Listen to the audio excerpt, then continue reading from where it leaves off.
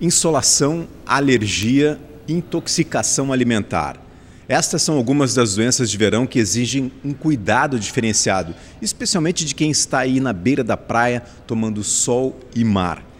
Uh, curtindo sol e mar. E quem fala sobre isso agora é a Denise Sarte, que é diretora do Departamento do Centro Estadual de Vigilância em Saúde. Muito bom dia. Bom dia, prazer estar aqui com vocês. Agradecemos esse espaço para que a população possa ter essas informações tão importantes nessa época do ano. Perfeito. Que outras doenças aí as pessoas têm que prestar mais atenção, principalmente lá na beira da praia?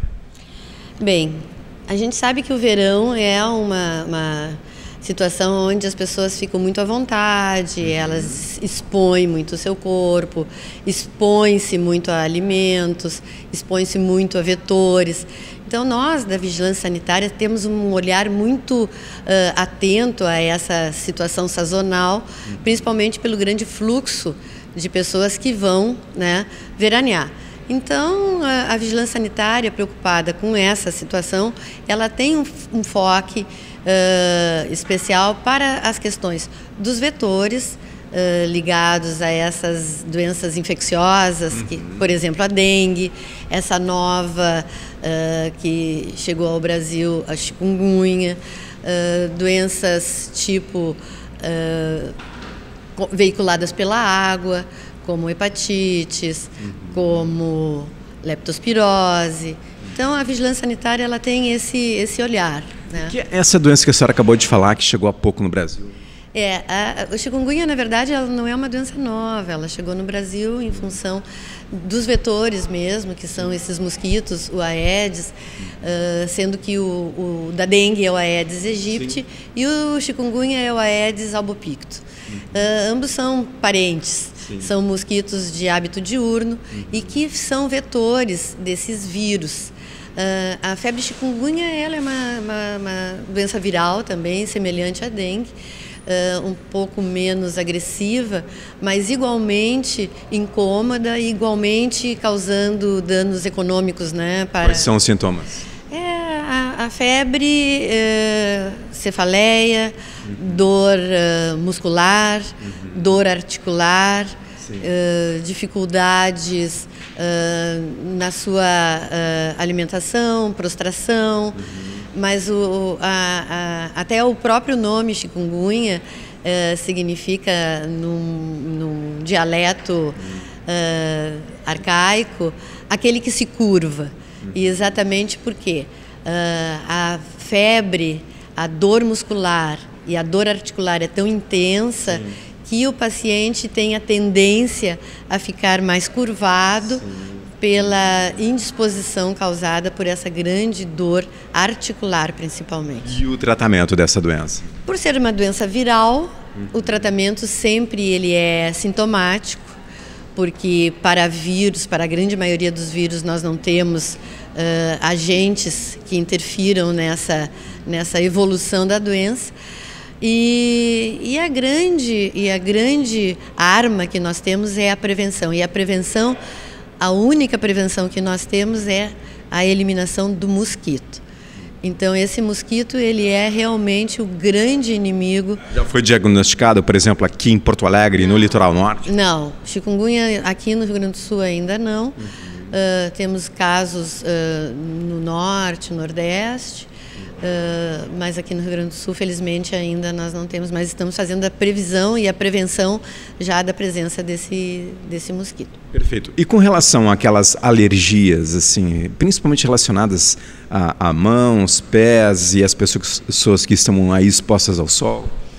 Pois então, a alergia ela é uma característica pessoal indivíduos têm mais predisposição à alergia do que outros. Uhum. Assim, nós temos alergias respiratórias, por exemplo, a asma, bronquite, rinite, alergias epidérmicas, né, dermatites de contato.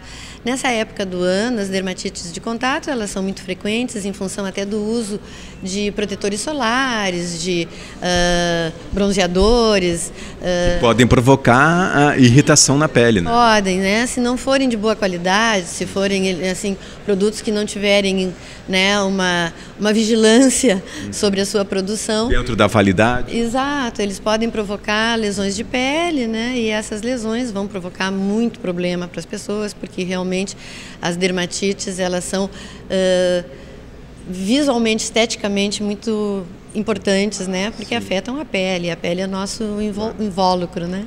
É, e nesses sintomas, qual, o que, que as pessoas devem fazer já? Buscar um posto de saúde, um médico? É, a, na verdade, ela é uma, uma situação bem aguda, né? e que pode evoluir até para casos bem graves, tipo choque anafilático, que a gente sabe que são situações bem, bem graves.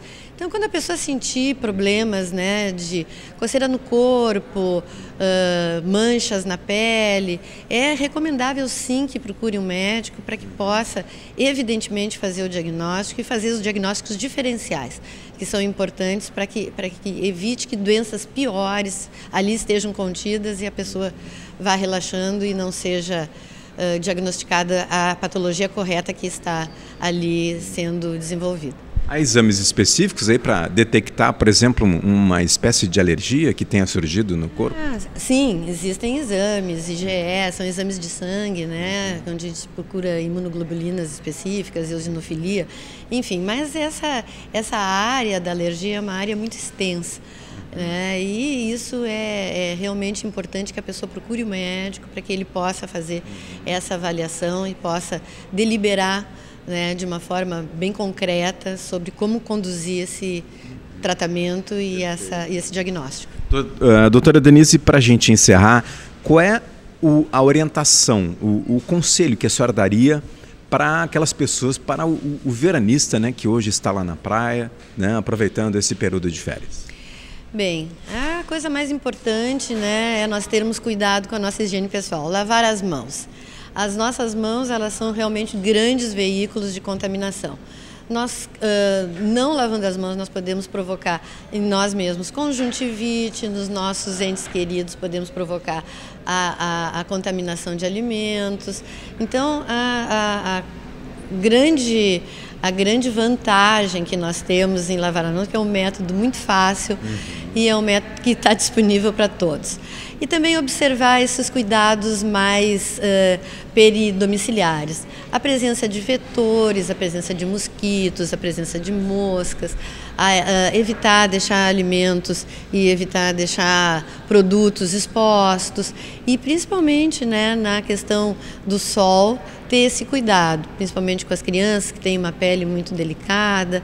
Uhum. nós sabemos que o sol ele é uma grande fonte de saúde, mas também pode ser lesivo se não tivermos cuidado e abusarmos, né? da nossa presença junto a ele. Perfeito. Então, essa foi a Denise Sarte, diretora do Departamento do Centro Estadual de Vigilância em Saúde. Muito obrigado pelas suas explicações.